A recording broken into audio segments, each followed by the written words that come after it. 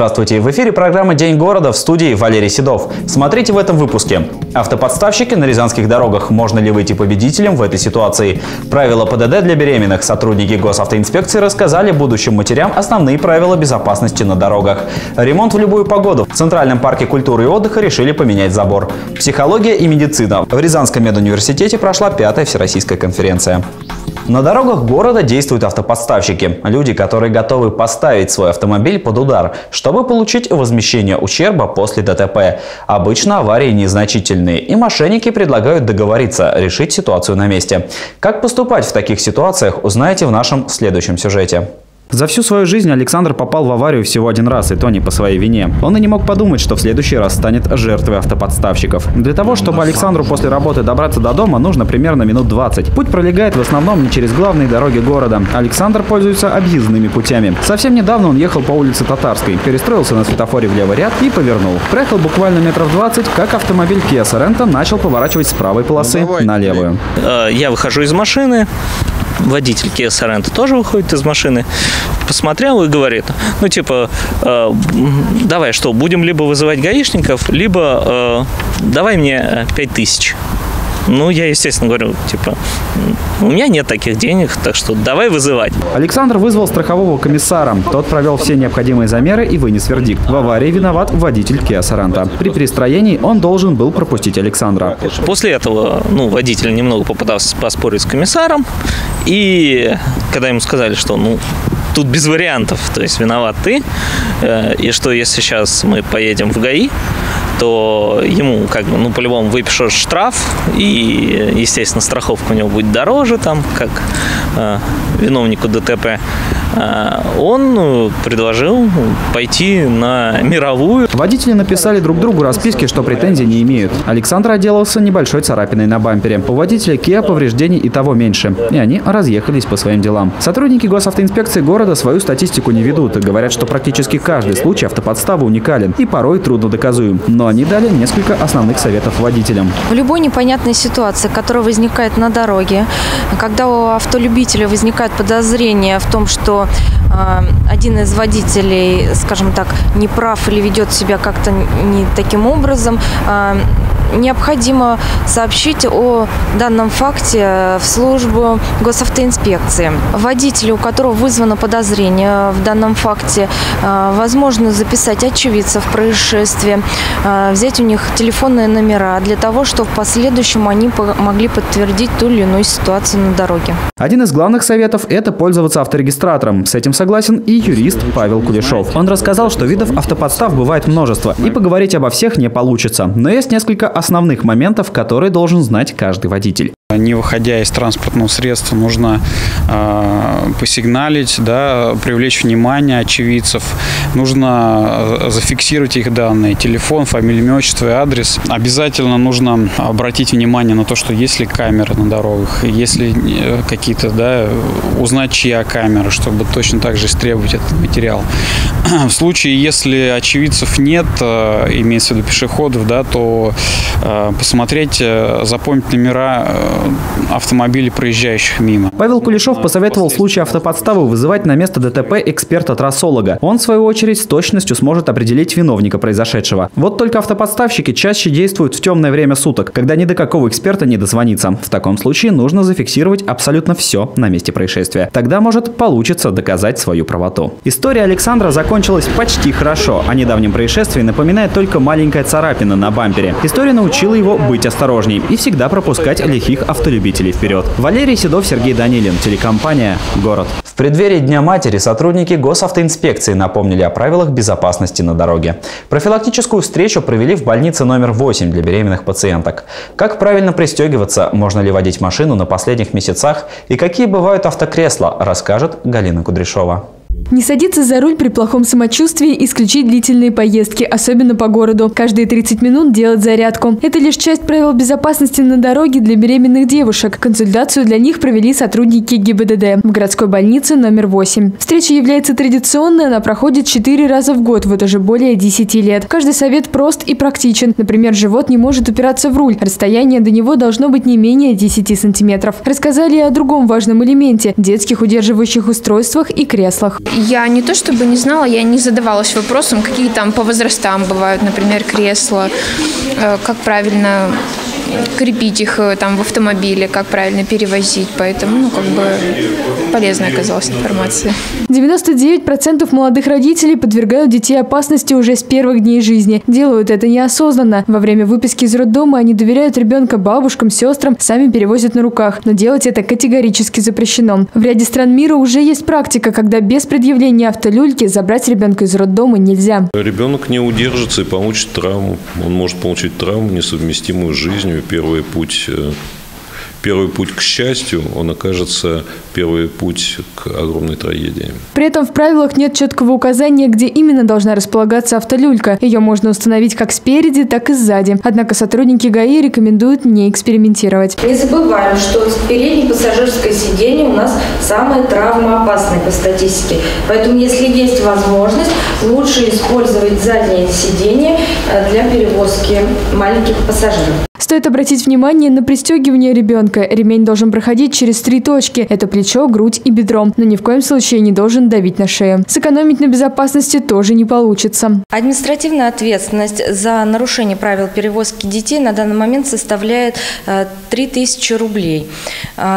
Детское кресло удерживающее, или удерживающее устройство составляет приблизительно эту же сумму, но нужно думать о том, что последствия в случае неиспользования детских удерживающих устройств могут быть гораздо плачевнее. Также сотрудники ГАИ напоминают, что ребенка нельзя оставлять в машине одного даже на несколько минут. В год фиксируется до 50 подобных нарушений, которые могут закончиться печально. Галина Кудряшова, Сергей Данилин, телекомпания «Город». Рязань направит на ремонт дорог не менее 400 миллионов рублей. Такая цифра была озвучена на Комитете по горхозяйству Думы во вторник, 20 ноября. Сумма учитывает субсидии, которые город ожидает из областного бюджета – около 300 миллионов рублей. Поступят они в будущем году. В проект бюджета 2019 заложены 106 миллионов рублей. Всего же на городские нужды будет направлено более миллиарда рублей. В этот же день прошло заседание Комитета по жилищно-коммунальному хозяйству и развитию инфраструктуры областного центра. Тема все та же – дороги. Депутаты одобрили изменения в порядок создания и использования парковок, находящихся на дорогах общего пользования. Речь идет о разрешении на бесплатное пользование парковками. Такое право получат инвалиды третьей группы и те, кто их перевозит. Теперь решение должны утвердить на общем заседании Думы.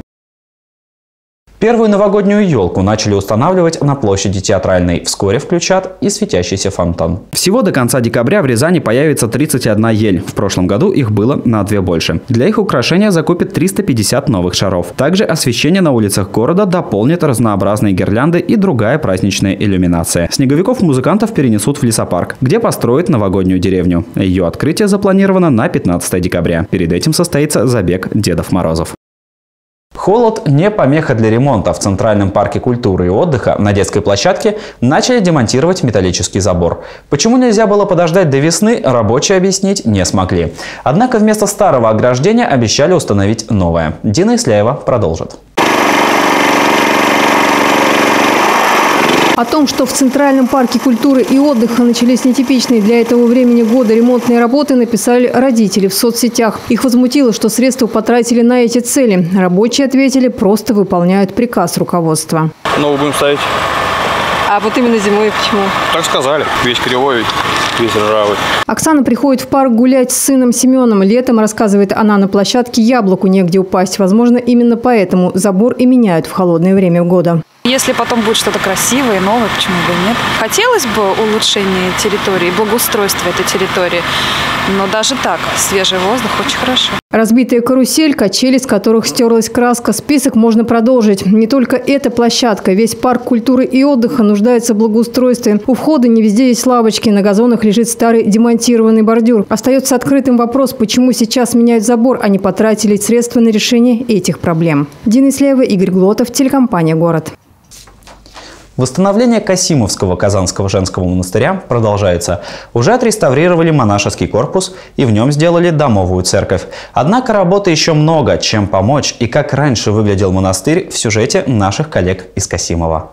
В свое время Касимовский Казанский женский монастырь был духовной жемчужиной города. В послереволюционные годы его храмы были разрушены, и мерзость запустения царила на святом месте. Сейчас здесь расположен жилой микрорайон. От прежнего облика монастыря до недавнего времени оставалось две башни, часть стены, несколько келейных корпусов. Потихонечку с Божьей помощью начали, и сейчас то, что вы видите уже, как бы вот домовая церковь и территория уже облагорожена, уже можно сюда приходить и помолиться о казанской нашей иконы Божьей Матери. У колокольни до середины 30-х годов находилась часовня царевича Иакова, последнего потомка правителей Касимовского ханства. Он почитается как местно чтимый святой. На месте разрушенной часовни поставлен поклонный крест. На старых фотографиях, а также на монастырской трапезной сохранился прежний облик Казанского монастыря. Здесь он восстановлен с картины художника Виктора Никонова. За колокольней была э, часовня царевича Якова, то есть вот там. А наш дом вот, вот он. Это вот на углу, то, что сейчас называют стекляшкой, э, магазин. Вот это была Парасхимская церковь. Старый дом отреставрирован под монашеский корпус с куполом. В нем устроена и освящена домовая церковь, так как все старые монастырские храмы были разрушены. Здесь по вторникам с 7 утра совершаются богослужения, на которых могут присутствовать и миряне. В монастыре будут рады помощникам, ведь чтобы помыть полы, убраться на территории, посадить кустарники, нужны руки, а сестер всего четыре. Иногда просто нужен человек, а вот его и нет. А когда кто-то приходит, то очень даже рады. Так что всегда рада, что будут как бы, люди участвовать в жизни монастыря. Потому что мы же не отдельно какой-то закрытый остров, а мы же с Касимовым должны быть одним, одним целым. Есть люди должны к нам приходить, и мы за них молиться. Священный исповедник Сергий Правдолюбов говорил, что какая судьба будет у Касимова, такая будет и у монастыря. Если монастырь будет развиваться, то и город тоже. Трубящий ангел на сохранившейся угловой башне виден издалека. Он, как и прежде, созывает людей на молитву. В Рязанском государственном медицинском университете имени академика Павлова прошла пятая Всероссийская конференция студентов и молодых ученых с международным сотрудничеством. Она носит название «Психология и медицина. Пути поиска оптимального взаимодействия». Стоит отметить, что конференция включена в план значимых мероприятий Министерства здравоохранения Российской Федерации. Поздравления участникам также направила министр здравоохранения Вероника Скворцова.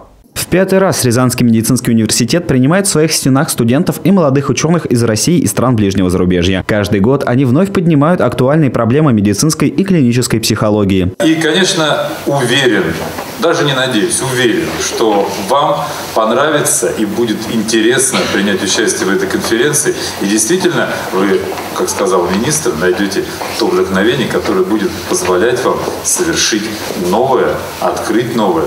И даже за эти три дня, которые вы будете активно работать здесь, стать лучше. На конференции будут также обсуждаться вопросы взаимодействия между клиническими психологами и врачами разных специальностей, такими как онкологи, хирурги, неврологи и так далее. Психология и медицина постоянно э, пересекаются в повседневной жизни.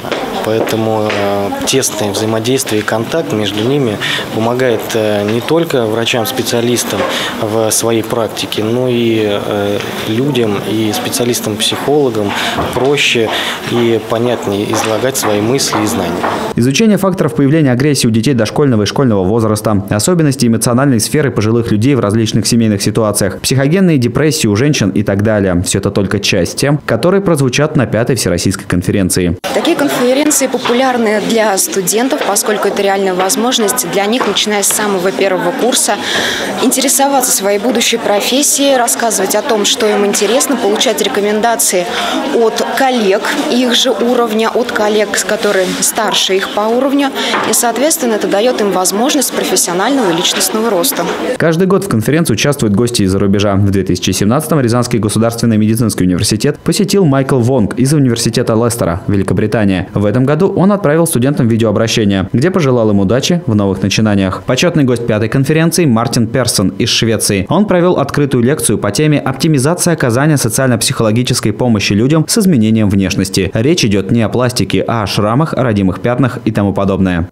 Ожидания весьма высокие. Прежде всего, я жду живого общения со студентами в течение всех трех дней. Я не хочу ограничиваться только своими лекциями и мастер-классом. За все три дня, которые будет идти конференция, я планирую послушать и другие доклады. А с переводом мне помогут. Всероссийская конференция продлится три дня с 21 по 23 ноября в стенах Рязанского государственного медицинского университета. Конечно же, мероприятие в первую очередь ориентировано для студентов и молодых ученых, однако открытые лекции может посетить любой желающий. Валерий Седов, Игорь Глотов, телекомпания «Город». Синоптики предупредили о надвигающемся на Центральный федеральный округ снежном покрове. Его отличительными чертами станут сильный ветер и снегопад, сообщает заведующая лабораторией гидрометцентра Людмила Паршина. Отмечается, что циклон распространится на Сибирь, Урал, север и восток европейской части России и затронет центральный регион страны. В некоторых областях ветер достигнет 20 метров в секунду. В столице он может усиливаться до 15 метров в секунду, начиная с четверга. Такой ветер может наносить небольшие повреждения строениям и крышам зданий. Но фон температуры Температура сильно не изменится. Ночью 2-7 градусов мороза, днем 2-4 градусов тепла. Это были все новости на данный момент. Еще больше информации вы сможете узнать на нашем официальном сайте город62.тв и в группе в соцсетях. А на этом я с вами прощаюсь. Хорошего вам вечера и до встречи в эфире. Мама спит, она устала. В пробках два часа стояла. До работы далеко, добираться нелегко. Каждый день ее я жду. Грустно мне бывает Потому что мамочки мне очень не хватает. А папа наш пришел с букетом И сказал нам по секрету. Будет времени в запас. Переезжаем в Еврокласс. Это в центре, здесь все рядом. Всей семьей мы очень рады. Хочешь стать одним из нас? Заселяйся в Еврокласс Строительная компания «Зеленый сад». Предлагаем тишину и комфорт загородной жизни. Реализуем квартиру в новом жилом комплексе «Полянка», недалеко от Рязани, в Полянах. Перед домом оборудована детская площадка. Имеется достаточное количество парковых мест. В шаговой доступности пруд, детский сад, школа, мини-маркет. Телефон 27 55 55.